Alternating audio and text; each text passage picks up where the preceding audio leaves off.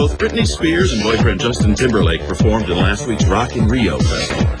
And according to London's News of the World, the 19-year-old shared a hotel honeymoon suite for all three days. But Britney spokesperson says nothing happened during the 72-hour stay, telling E! News the couple was just relaxing, and the two are still virgins.